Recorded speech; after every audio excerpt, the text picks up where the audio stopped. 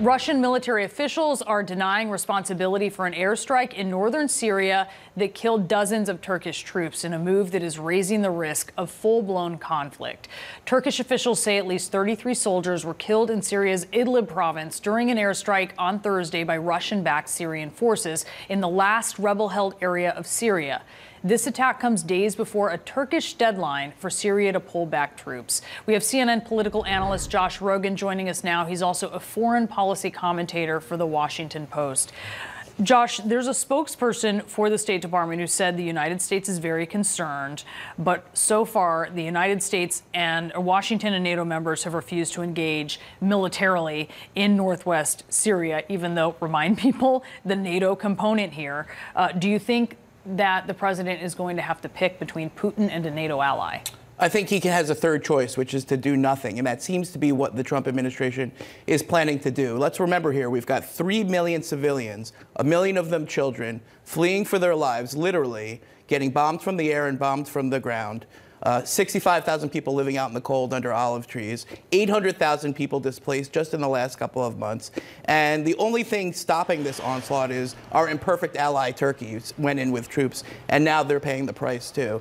Uh, you know, there's a lot of things we could do short of an all-out invasion. We could provide them with some air cover, some intelligence, more humanitarian aid. These are the things that Turkey is requesting. Uh, so far, if you listen to Secretary of State Pompeo this morning, uh, very deep concern is about all we can muster. And that is a, a, tragedy, not just for the Syrian people, but also for the Europeans who will be receiving the refugees, and eventually for us as extremism and uh, terror and all of the bad things that are happening in Syria only get worse. Do you see that third option of doing nothing as essentially choo choosing not to back up Turkey? I mean, it, to choose Russia in a way, even if it's not sort of a full-throated endorsement of, of what they've done or that, hey, we're not going to help out Turkey? Yes, and to be clear, you know, Turkey is an imperfect ally even in Syria. Remember when the Turks went into the northeast against the Kurds, there was a lot of outrage, right. uh, and they made a lot of mistakes. But now that the Turks are actually doing the right thing, defending Syrians in the northwest, there's silence, okay? And, you know, what the Trump administration officials will always say is, well, what do you want us to do? You want us to put in troops? You want us to get in the middle of a World War III? Uh, Uh, and they're talking about the risks of action, which are real, but there are also the risks of inaction. And what the Turks are saying is, okay, if you're not going to help us, if you're going to leave us here and leave these Syrian people here, well, we're going to have to do some things. We're going to have to let some refugees go to Europe. That's going to be bad for Europe. And the overall concept of the NATO alliance, which is that if one of these countries is facing a threat, we're all facing a threat, completely breaks down. So yes, that has the benefit of aiding the Russian, Syrian, Iranian plan.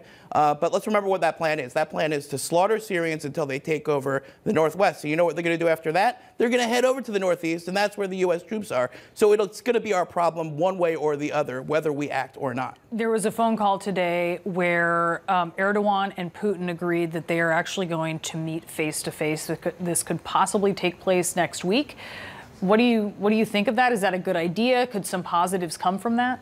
Yeah, both Erdogan and Putin have an interest in de-escalating for the time being. So if they're able to do that, that's good as far as it goes. But none of the fundamentals in that part of Syria will have changed. The Russians want a de-escalation because it allows them to continue what they're doing, helping the Assad regime slaughter civilians, advance into Idlib, and force these millions of people into an ever-shrinking spot, and that spot is hell. Okay, that spot is full of death and starvation and uh, some of the worst things you could imagine. Uh, that's good for Russia. That's bad for Turkey. But without our help, there's nothing else Turkey can do. They can't stand up to the Russians and the Iranians and the regime by themselves. They're not going to do it. Uh, so we may leave them in a position where they have to cut another deal with Putin.